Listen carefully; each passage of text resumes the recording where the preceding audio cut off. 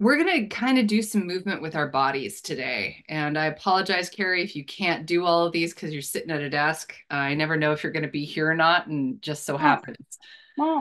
Um, but anyway, so feel free if you haven't already, go ahead and mute yourself. And if you want to turn off your camera, you can because we're going to be we're going to be reaching and we're going to be swaying and and doing a few things like that and that might make people feel silly to be watched by other people but I'll do it for you instead. so, first, I just would like for you to just kind of give your body a little shake here. If you want to close your eyes, you can. And take a nice deep breath in. It doesn't matter how you let it out. Oh, it could be sound, it could be just breath, it could have movement, it doesn't matter. And allow yourself to just breathe well, however your body needs it right now. And begin to allow your body to sway just back and forth. If you need to stabilize yourself by putting your hands on your knees or your thighs, and see if you can allow a little bit more flexibility in your spine as you go left to right. And maybe you notice your neck wants to get into it, but kind of like you're leading with your shoulder and the rest of your body follows that shoulder. Just kind of feel it in your lower back, in your abdomen.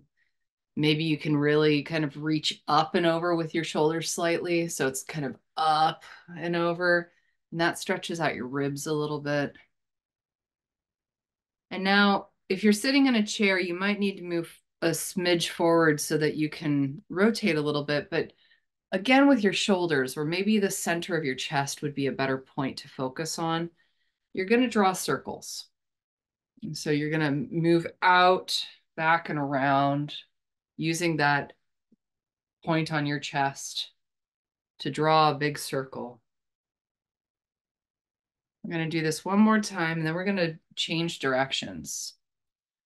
Whichever direction you started in, now go in the opposite direction. Again, using that point and this actually helps with digestion. It can help with breathing and flexibility.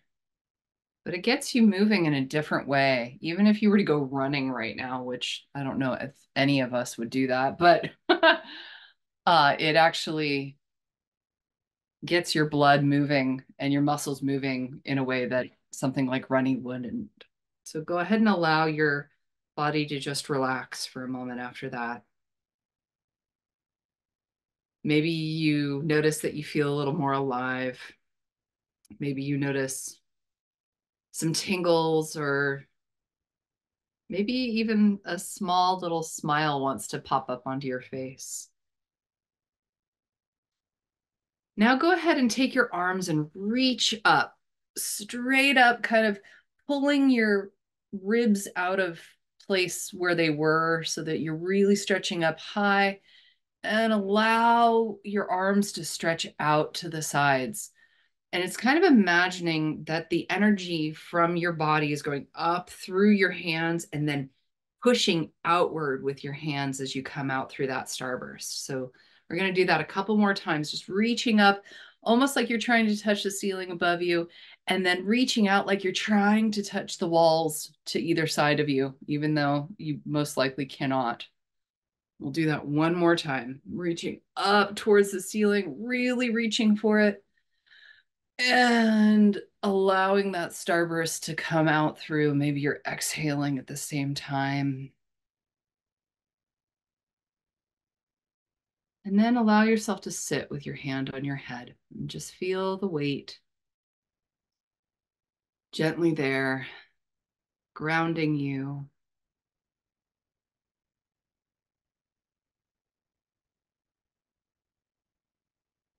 And then allow your left ear to gently move toward your left shoulder, dropping your hand back down. So you're just stretching your neck.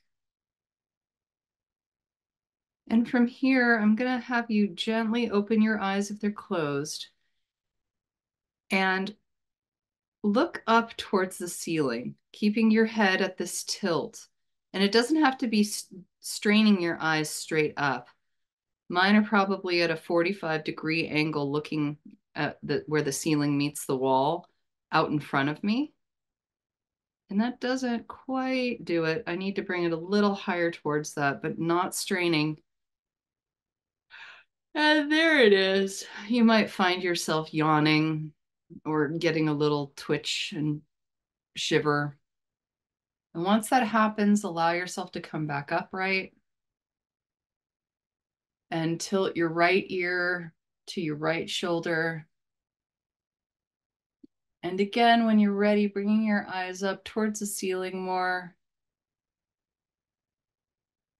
Not straining, but definitely giving yourself a little bit of a stretch in the neck and with the eyes until there's that yawn.